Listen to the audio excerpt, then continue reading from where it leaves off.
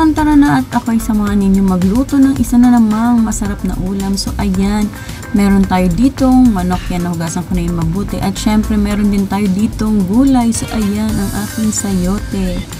O, di ba ang ganda ng aking sayote, napaka-fresh. At meron din ako ditong isa sa paborito kong gulay. So, ayan, malunggay. At meron din ako ditong dahon ng sili. So, ayan, siguro naman alam niyo na kung aking, ano ang aking lulutuin na ulam ngayon.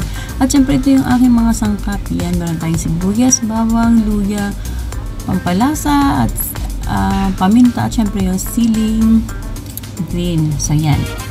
At syempre, ito na nga at ginisa-gisa ko na. Ayan, ginisa ko na, sinubay-sabay ko na yung at yung mga sangkap, sibuyas, bawang, at luya. So, yan.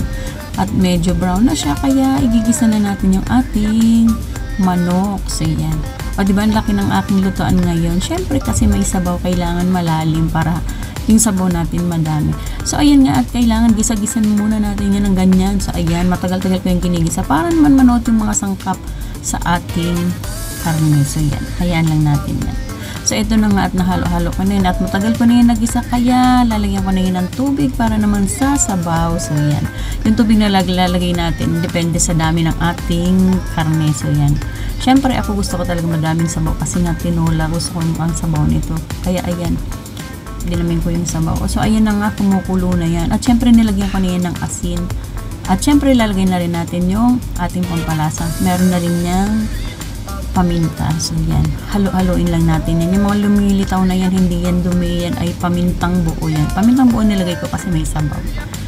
So, ayan.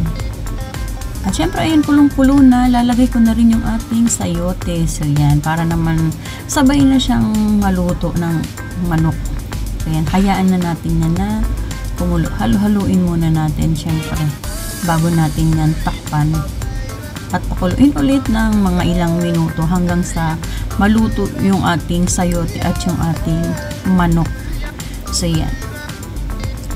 Takpan muna natin yan.